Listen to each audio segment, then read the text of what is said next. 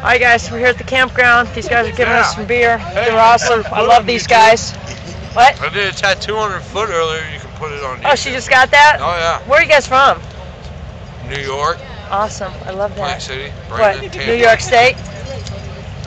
I was born in New York. I was raised in Florida. Everybody else here is from New York. So interesting. I find it fascinating.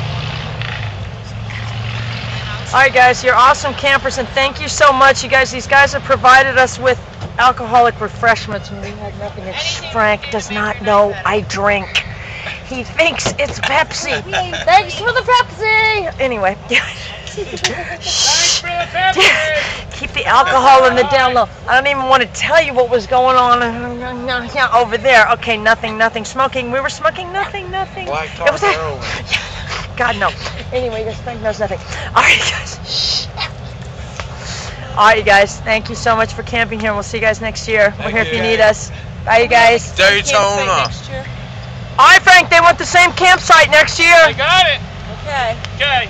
All right, guys. Anything for you guys. You're awesome. We love you. Bye.